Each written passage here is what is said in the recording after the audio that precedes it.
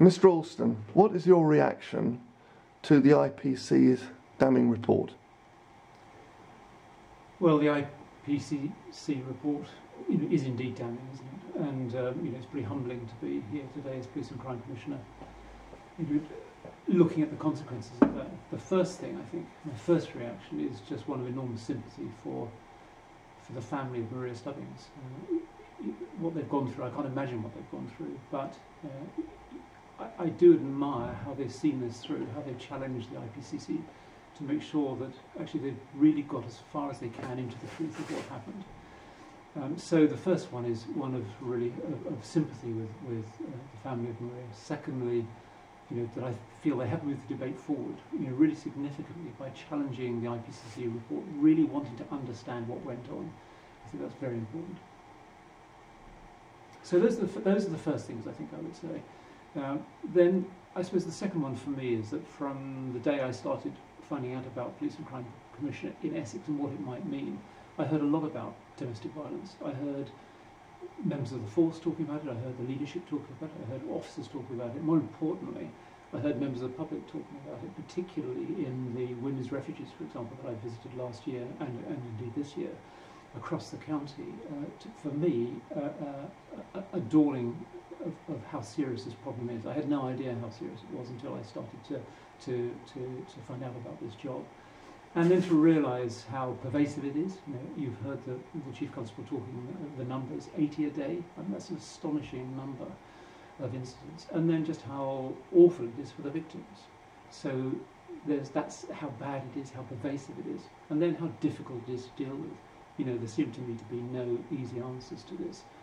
And I've spent really six months now in this role, six months tomorrow, uh, in this role, uh, understanding where you know best practice might be, looking for that best practice, but actually finding it very difficult to find. I've talked to experts around the county, I've talked to national experts, I've talked to the universities, and uh, I've spoken to a very wide range of, of uh, experts in the county and outside uh, to try and understand what their best practice is. And I think one of the things I, I again I respect and admire about what the family have called for uh, in, in their reaction to the IPCC report is to say that we do want to look to get to find that best practice, to get it established, not just with the police, but with all the other agencies who can make a difference in trying to prevent uh, domestic abuse and then looking after the victims when it does happen.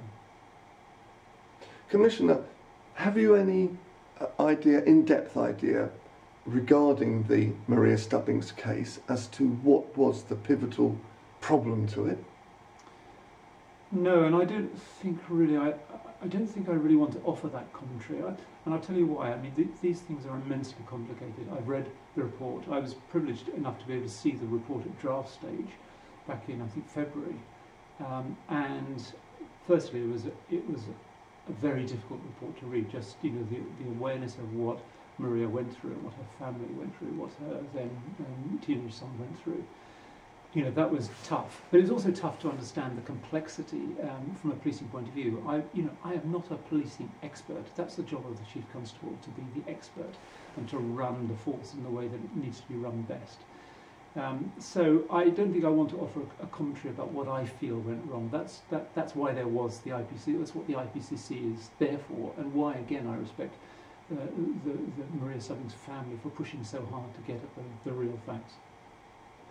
And now, I would say to anybody and everybody, and I've said this consistently and repeatedly in recent months, not just about domestic abuse, but about all crime, we have to have the confidence to report it to the police.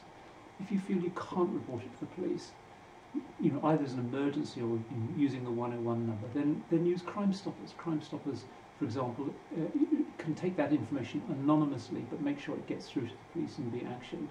If those are not aware of it, let's give it a plug. It's 0800 555 111. We really have to report our concerns. And I've talked, obviously, I, have talked with the, with the new Chief Constable about this. I talked about with the old Chief Constable too. Um, I've visited the Force Control Room. I've listened to those calls coming in. We really do need to encourage everybody to have the confidence to report their concerns. Commissioner, do you believe that in Stephen Kavanagh, we have a chief constable who can turn the tide. Well, turn the tide. I mean, I, you know, I, I really think the tide had turned. I, I this is, for me, this is a journey. It's not about a, you know we, about changing direction. We can't keep changing direction on such important things. You know, I looked when uh, Jim Barker McCardle, the previous uh, chief constable, he did all the candidates in the elections last year at the courtesy of letting us know before the election he was going to retire. Um, so it was very much on my mind uh, about the sort of person I wanted as a new chief constable. Um, but this wasn't just to change direction. You know, the previous chief had done an enormous amount to make the savings that had to be made in Essex Police to make some really fundamental changes. Uh, but the new chief constable has, has got a lot to do because everybody I talk to in the force, it's not just outside, but within the force, everybody wants to do a better job. Everybody wants to do the best job they can. So finding a chief officer who I felt had got the skills to do that. And we were really lucky in Essex. We had an outstanding number of good candidates um, to, uh, to take an interest in the job. And then we finished up with five really strong, um, strong applicants on our shortlist. Uh, and when I looked at uh, Stephen Kavanagh, his background, looked at his, you know, his passion for Essex, his knowledge of policing, the work he's done both as a territorial police officer, but also as a, as a detective, as well as more recently handling some really sensitive stuff at national level, it seemed to me we had a, a really outstanding officer. Uh, he was the best on, on the day, um, and I'm, I'm really optimistic about how he will do. He's not going to shirk the issues in the way that I haven't shirked the issues. You know, we're, we're talking about today about domestic abuse, but for me, that's at the heart of our plan. You will have looked at our police and crime plan. The only crime type I mention is domestic abuse because it is, as I said, it's so important to the people of Essex, it's important to the Essex Police. The Chief brings new ideas to that, um, new energy, a new vision, new commitment. Um, but I, let's not talk about um, you know, turning the tide. This is, this is about you know, building on what's been done before. Uh, Commissioner, you are the first police commissioner, crime and police commissioner for Essex, in fact, in the country. It's a, a new position. Where do you go to as a, for your inspiration? Gosh, well, where do I go for inspiration? Uh, as, uh, where I've gone to right from the start of this is just talking to the people of Essex. You know, from from the first day that I took an interest in, in this job at the beginning of last year, I've spent you know day by day going around talking to people around Essex, all around Essex, people of all sorts, um, and it's been tremendous. The inspiration I've taken from them because this is about reconnecting our police, the Essex police, with the communities they serve. You know, I'm I'm an Essex boy. I, okay, in some part I come from Essex police family. My dad was an Essex policeman, so I feel a strong affinity for Essex police. But basically, I'm an Essex resident. You know, I've lived here. You know, all my life I've been based here. My family are here. I have friends here, um, and, and I take that inspiration from what the people of Essex say to me. Of course, you know, there's a lot more to it than that, and you know, talking with other colleagues up and down the country um, uh, uh, police and crime commissioners uh, of all hues, um, uh, and also um, you know, academics.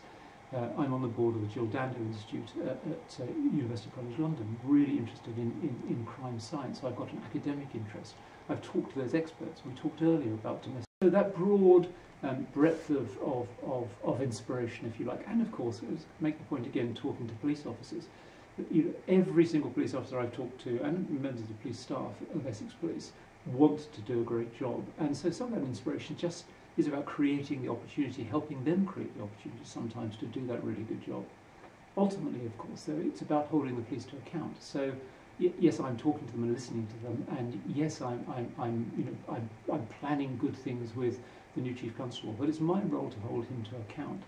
Um, so, you know, today we've heard lots of words, but it's actually going to be about action. It's the action that matters.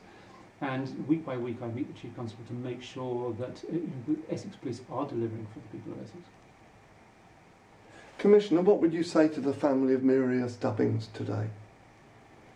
Gosh, I, I, would I would offer the thought that I, if I had the chance to talk to them, and I did offer through their solicitors to meet them if they'd find it helpful, but to be honest, you know, I'm sure their concern is with, with Essex Police and with others.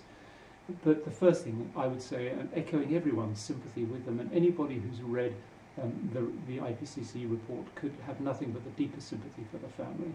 Um, and to say to them how much I admire um, their determination to see this through and uh, their determination to make things better for other people. I think, uh, I think it's a remarkable um, achievement that they've been able to see all that through. finally, Commissioner, what would you say to a battered wife in a town in Essex, in a village in Essex, frightened out of her wits, bullied, humiliated?